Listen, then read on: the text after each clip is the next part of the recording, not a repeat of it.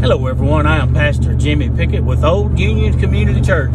Uh, the verse that I want to do with you today is Matthew 18 20, and it reads, Where two or three are gathered together in my name, this is Jesus Christ talking, there am I in the, mid, in the midst of them. Now, the reason I wanted to do this, I guess what really prompted me to do this, is the fact that we have on our ministry page, and, and some of you may not be on it, it's Pastor Jimmy Pickett and Gerry.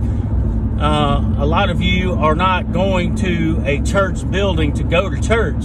And that verse right there tells you that two or three gathered in my name, I am in the midst of them, folks.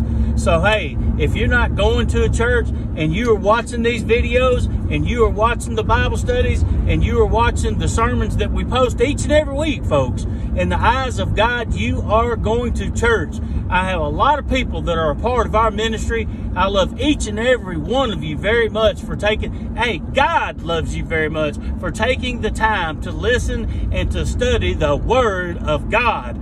Uh, but I, I do want to say this. A lot of people say, well, you ain't got to go to church. Uh, you know, to be saved, you ain't got to go to church for anything. I can sit at home and I can read my Bible uh, and I can be in prayer. You are kidding yourself.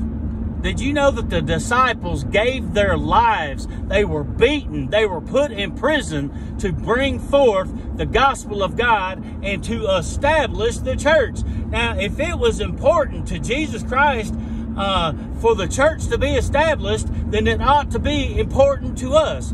Uh, what is the benefit to going to church? You are going and you're with other like minded people who love the Lord. It's inspirational, it lifts you up, and hopefully, if you are actually going to a church building, I hope for your sake that they are teaching the Word of God.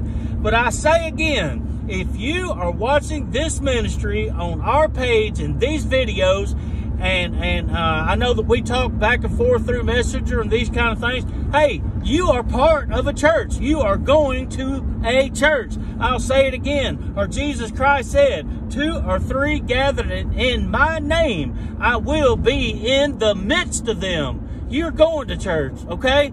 Hey, I love you guys. I hope this video has edified you today.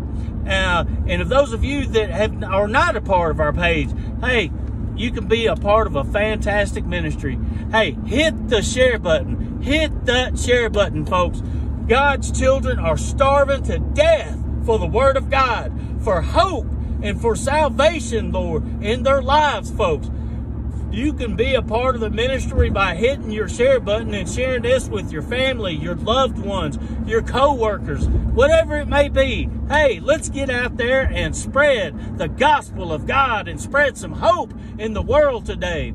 Uh, can I get an amen? Amen. Hey, I love each and every one of you because you love the Lord. And if you didn't, you wouldn't take the time to stop and watch this video. God bless you and your families. And once again, thank you for tuning in.